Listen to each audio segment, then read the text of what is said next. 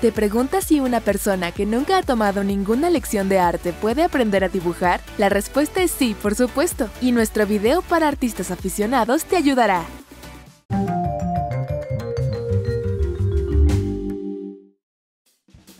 Para la primera idea artística, toma una tira larga y ancha de papel y dóblala de esta manera para que los extremos se unan y haya papel en blanco en el centro. Dibuja un cerdo en la parte de la unión, su espalda en un lado y su frente en el otro.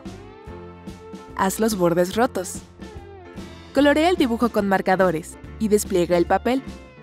Colorea el espacio vacío entre las partes del cerdo con rayas multicolores arcoíris. Agrega algunos pequeños detalles. ¡Listo! Parece un cerdo normal, pero tiene un mundo interior tan lindo. A tus amigos les encantará. Para la próxima idea, toma un pedazo de papel y un pincel plano y ancho. Exprime un par de gotas de pintura acrílica blanca y verde en la paleta. Sumerge un lado del pincel en verde y el otro en blanco. Toma un pedazo de papel con un boceto a lápiz y empieza a hacer pinceladas a lo largo de las ramas. Para hacer que la rama quede esponjosa, haz trazos espesos. Esta técnica de aplicación de pintura se llama doble trazo. Cuando la pintura esté seca, colorea las ramas de color marrón. ¡Qué hermosa rama de abeto! Trata de dibujar un árbol entero. Y ahora necesitas un par de piezas de linóleo. Inesperado, ¿verdad? Dibuja un pétalo en la parte posterior de uno de ellos. Córtalo con un cúter a lo largo del contorno. Haz muescas en el pétalo con la cuchilla. También dibuja y corta una flor. Y ahora toma pinturas y pinta el linóleo con muescas. Luego toma una hoja e imprime los pétalos de esta manera. El resultado es una flor de acuarela muy linda. Para obtener mejores resultados, toma el sello de la flor, píntalo de negro e imprímelo en el centro de la imagen.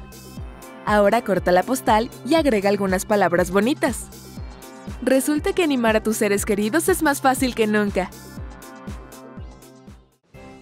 Luego toma algunas acuarelas. Tenemos una idea interesante. Toma una hoja de papel con un boceto y un simple lápiz.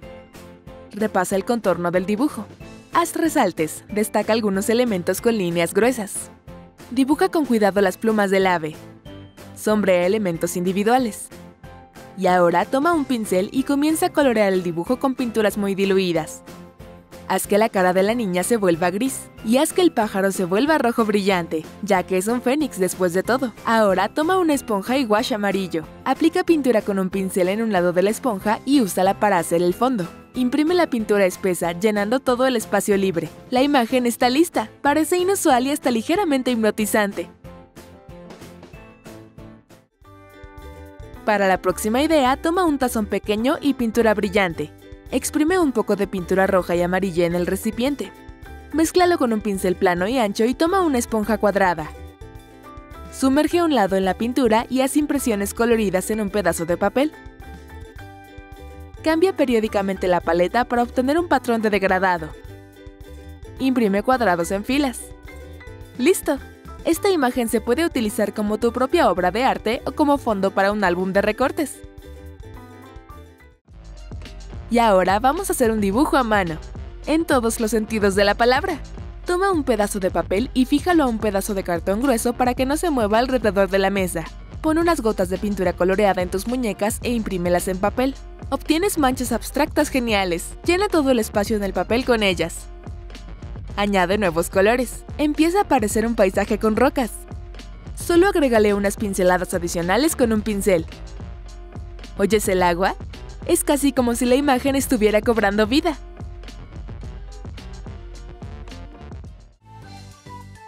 La próxima manualidad te enseñará a combinar habilidades artísticas y humor.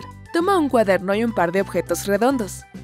Colócalos en una hoja de cuaderno desde diferentes lados y repásalos con un lápiz. Toma una pluma estilográfica, dibuja los contornos y circula la mitad del círculo más grande. Y ahora dibuja líneas en zigzag con la pluma a lo largo del contorno de esta manera. En un círculo más pequeño, agrega patas, orejas y una cola para hacer un zorro. Es un poco regordete. Pinta el anillo grande para que se vea como una rosquilla glaseada fresca y deliciosa con chispas. Cuando el dibujo esté listo, toma marcadores. Haz los lados de chocolate. Colorea el zorro y la dona completamente, resaltando las diferentes partes en diferentes colores. Mm, entonces es por eso que el zorro está tan gordo. Parece que alguien ha comido demasiadas rosquillas. Luego, toma tres hojas de papel y marcadores. Dibuja el contorno de una hoja con un borde tallado y un tallo largo. Sombrea el patrón con líneas. Para que sea más suave y fácil, divide el espacio sin marcar en varias partes y sombrea cada una de ellas una por una. Del mismo modo, dibuja una hoja de roble con una línea. Oblonga con contornos suaves. Y también sombréala. Y ahora una hoja de arce tallada. Próximamente tendrás un invernadero completo. Para este truco, toma pinturas y marcadores y lávate las manos. Gira la palma de la mano hacia arriba y dibuja una boca abierta con labios con un marcador. Dibuja un ojo en cada dedo. No te olvides de hacer pupilas. Y ahora colorea la imagen con pintura. Para que se vea más espeluznante, usa tonos negros, rojos y amarillos. Destaca los párpados. Repasa los contornos con rojo ardiente y agrega algo de horror a la ilusión. Sombrea el dibujo con pintura amarilla. Y claro, dientes blancos. Atención a la pantalla. Mira la mano. Uno, dos, tres. ¡Bú!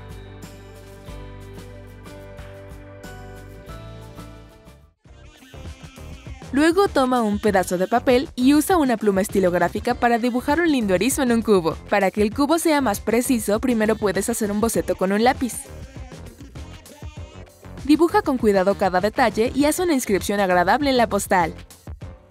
Y ahora toma pinturas y sumerge un palo de madera en ellas. Imprime la punta en el papel para obtener espinas rizadas.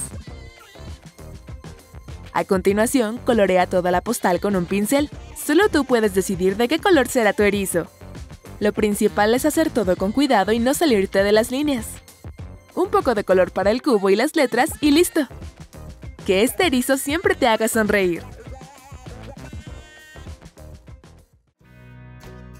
Y ahora toma tres hojas de papel y una curita.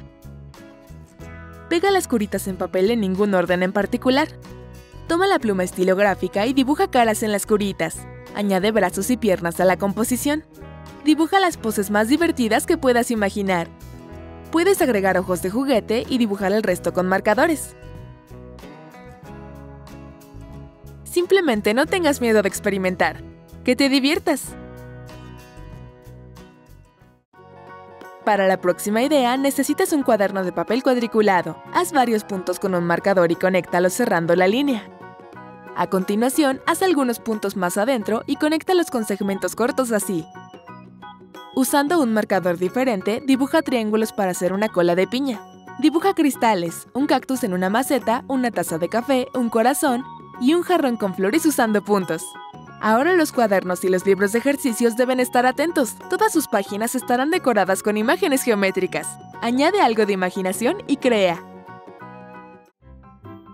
Y esta idea también atraerá a los amantes de los experimentos. Toma colorante de alimentos, bicarbonato de sodio y vinagre.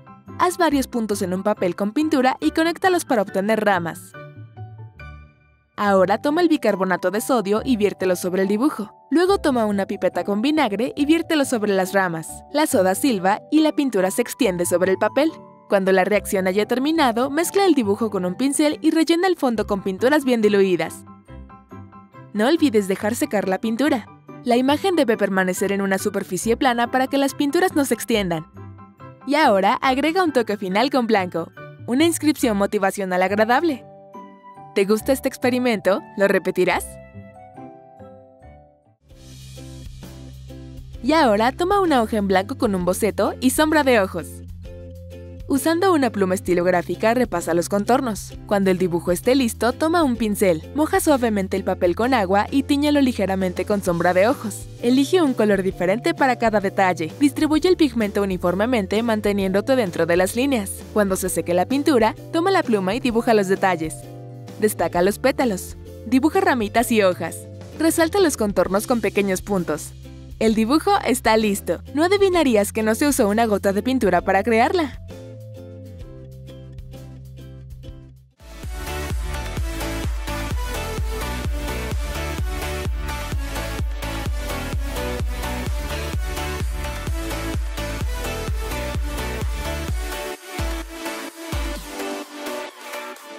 ¿Te gustaron nuestros nuevos trucos artísticos? ¿Cuál te pareció más interesante? Cuéntanos en los comentarios. Y para no perderte los nuevos videos, suscríbete a nuestro canal, ponle un me gusta a este video, haz clic en la campana y cuéntales a tus amigos sobre nosotros.